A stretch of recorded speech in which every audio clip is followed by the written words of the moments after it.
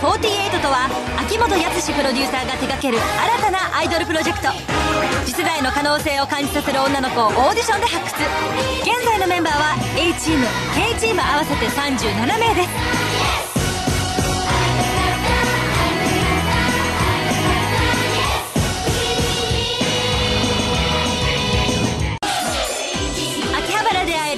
としてファンのハートをがっちりつかむ AKB48 は今や全国の人気になりつつあります。果たしてオーディションを突破した彼女たちの素顔とは？今回のパワージャムは全メンバーのうち A チームと呼ばれる20名をフィーチャー。特に注目株の4名をクローズアップします。まずは大島舞ちゃん。チームのセクシーガールみんなのうさぎちゃん。まいまいこと大島舞18歳です。パパがですねあのこのオーディションの記事を発見しましてあのおにゃんこクラブの秋元さんっていうのはパパの世代的にはすごい有名じゃないですか。それで「ああうちの娘はアイドルになる娘だから」みたいな。まあ、パパは前のことをずっとアイドルにしたくて娘ができたらアイドルにみたいな感じで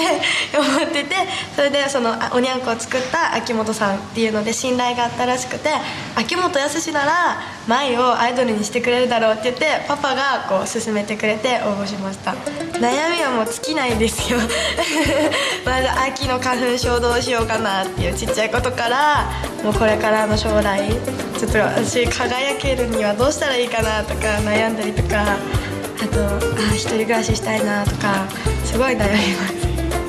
こう AKB48 で歌番組に出てそれはよくよくはもう今年の「紅白」とか狙っていきたいなといて前田敦子ちゃん。魅惑のサウスポー中学3年生の14歳前田敦子です。知り合いの人に、えっと、こういうのがあるよって教えてもらったんですけど私これ入るまでは全く興味がなくてえー、私こんなのやれるのかなって思ってたんですよ。で初めてオーディションこれ受けたんですけど受けたらここまで来れてで最初は憧れでしかなかったんですよ。絶対に自分はできないなとしか思ってなくてこれに入って少し近づけたんでこれからこういう風に頑張っていこうかなって思いました。集中力を切らさないで頑張ろうと思ってます。一つを熱心にできるとかいう感じの性格じゃないんで私ってだからステージの立つ時は絶対に集中力を持たせて頑張ってます。ったことないようなあのダンスとか歌とかをどんどんやってみたいなと思います。そんな AKB48 は今年の2月シングル「桜の花びらたち」でメジャーデビュー。卒業をテーマにした青春王道ソングです。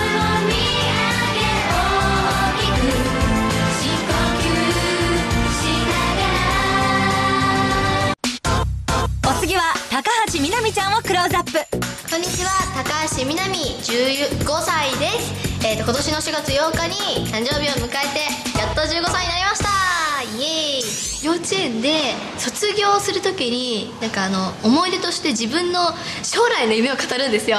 で私はほんとその時将来の夢がなかったんで何がいいか何がいいかなってお母さんに聞いたら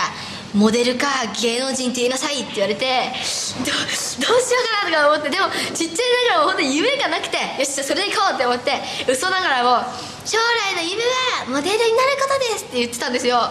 それが本当にそのままビデオに残ってるんですよ。本当に緊張して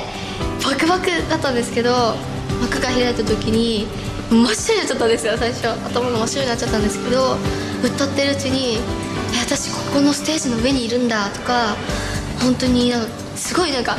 焦ったり慌てるよりもなんか気持ちいいなって思うのが正直なところで。そして篠田麻里子ちゃん。AKB48 の魅惑のポーカーフェイス篠田真理子です。えっと今年で二十歳になりました。イエイ。私は、えっと、カフェで働いていて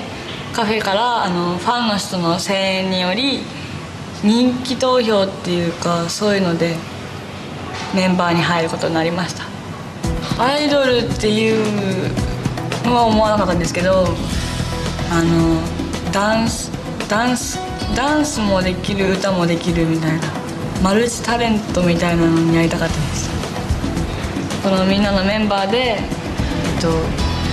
でっかいステージでライブとかをしたいなと思ってます。ひらりですひらり。スカートひらりっていう歌詞でもうスカートひらりしてるんですよ本当に。でも見てってぐらいひらりしてるのでその辺をもうダンスと歌詞とこう一緒に見てほしいです。初めてこの劇場が満員になった時がすごい嬉しかった。すごかったよね最初とか最初はもうメンバーよりも少ない人数しかお客さんが入らなかったから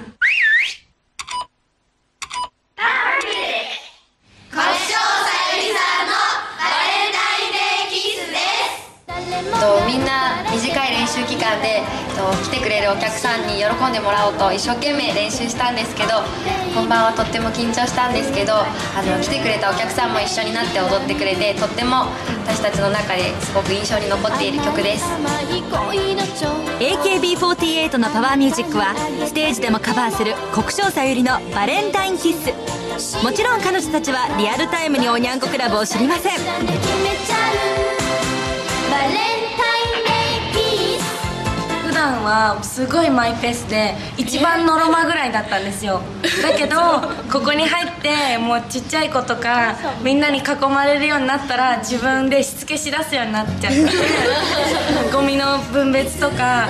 掃除とかもうもうなんかそういうことやってたらいつの間にか自然にお母さんって呼ばれるようになっちゃったんですよ。最近お掃除もゴミの分別もみんなちゃんとできるようになって私最近あんまり言うことなくなって嬉しいです。